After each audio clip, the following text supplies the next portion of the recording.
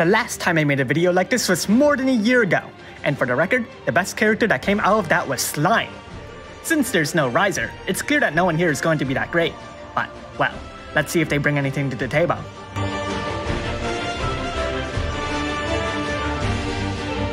We still haven't seen Barbariccia despite being promised, and she was supposed to be released alongside Dragoon Kain's banner. Given that her global form was a different unit than the Japanese version, it's likely something came up there, but I'll still cover the Japanese form anyways. Her base form didn't get any new abilities, though she did get new buffs. The standard offensive grandest buff, a cooldown that busts the modifiers of her Land Burst, a quadruple cast, and Store. She's also gained important passives like the Chain Layer boost, and though she hasn't gained any new magic spells, she could still take advantage of Tornado Strengthening. Like most Neo Vision Awaken units, her Layer Burst hasn't been touched at all, so let's activate her 4-4 Brave Shift.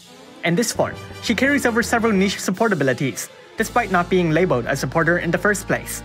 Passive-wise, she's gained wind absorption and a better locked ability. In terms of damage, she'd still stick with the upgraded black magic, and her Layer Burst will also deal damage and strengthen Tornado's modifier as well. The SINoALICE collaboration has never even made its initial appearance, so, uh, hate to say it, but there's little hope here. Regardless, Alice is a physical damage dealer who could deal fire or ice damage while chaining with Absolute Mirror of Equity. The modifiers themselves aren't that great, as these are her old abilities, and she hasn't gained any new ones to make up for them.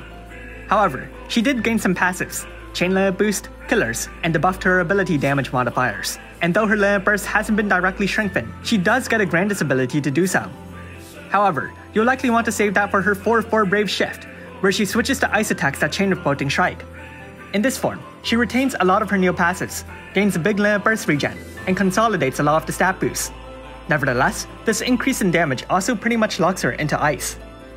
Snow White is also a unit from the collaboration that didn't happen. A wind and lightning damage dealer and breaker, she too has gained passes to buff her existing kit. However, unlike Alice, she hasn't gained any new abilities at all. But activate her 4-4 Brave Shift, and you'll find Wind and Lightning Bolting Strike chains with a preference for Wind, Pacify, she's mechanically similar to Alice, including the way her Layer Burst is now element locked. Rubicante is another unit we should have seen but haven't gotten, though we did get the cool equipment that only he can equip, very useful, much appreciated. Anyways, like Barbariccia, he hasn't gained any new offensive abilities, but gains more active buffs. Combine that with his new passives and the upgraded black magic like Fira, Firaga, Flare, and I don't think I've ever seen this one before, Rubicante becomes...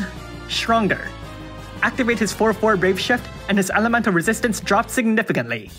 But he also gains, like, a quadruple cast, the ability to absorb fire, and massively strengthens the damage modifier of Flare. His Layer Burst is also much stronger for his cooldown ability, but it's not like his base form Layer Burst had an impressive modifier to compare against anyways. Foka gets a Neo Vision Awakening as her Christmas present. Oh wait, looks like she's Final Fantasy 12. My bad. Having been a pretty good supporter, she doesn't get any new abilities, though she did get updates that added a bit more recovery to her resistance boss, stronger recovery, better modifier boss for water magic, and much stronger mitigation boss.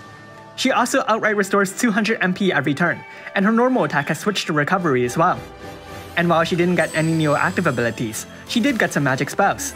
And Water out for weak water support, Flood, and the rest of her water spells can be upgraded to stage 3 as well. Her white magic didn't get any upgrades though, and neither did her Layer Burst. Activate her 3-2 Brave Shift and she becomes a magic damage dealer, quadruple casting her water magic and using her Layer Burst. Vayne gets his floaty swords when Vaan gets his big stick.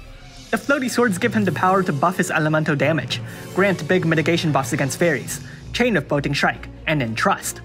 He does have a few other nice tools that aren't especially impressive to veteran players, though his passes are a big step up for him.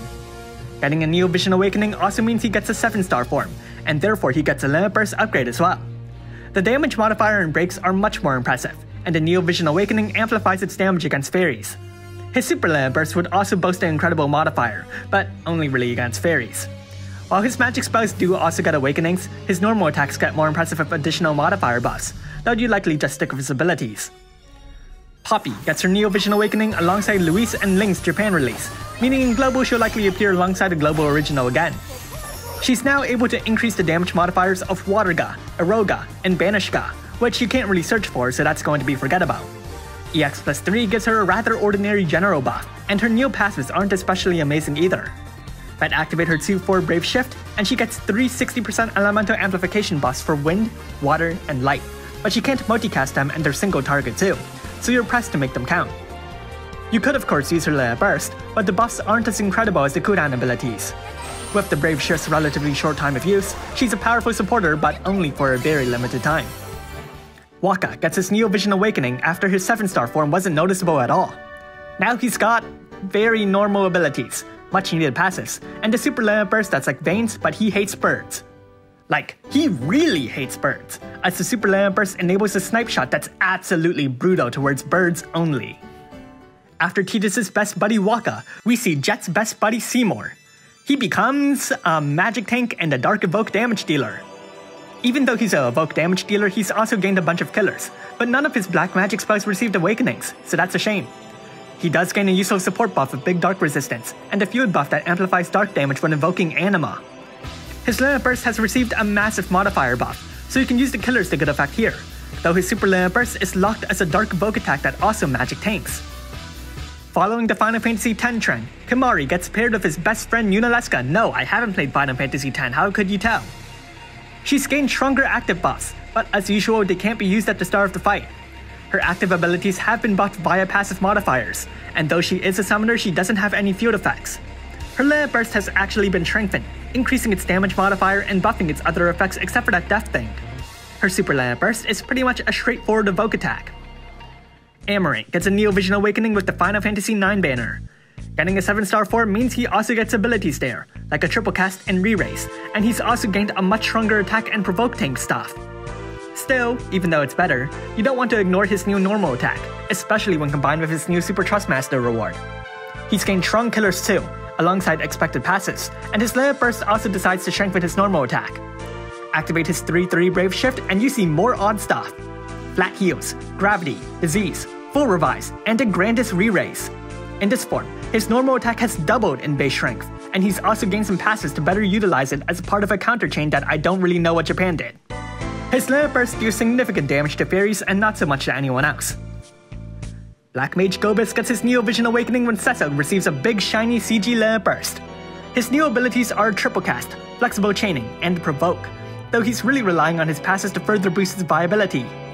He also becomes a Breaker, though the on-demand breaks aren't too impressive, and his only magic spells that can be awakened further are the Dark Poison one and Meteor. His Leia Burst has received a big damage modifier boost, and his Super Leia Burst is mechanically pretty much the same. Awakened Onion Knight receives a Neo Vision Awakening alongside the Final Fantasy III character that wasn't very memorable. His base form gets one big chain cooldown that also isn't available at the start of the fight, and pretty much relies on his new passes to strengthen his relatively weak kit.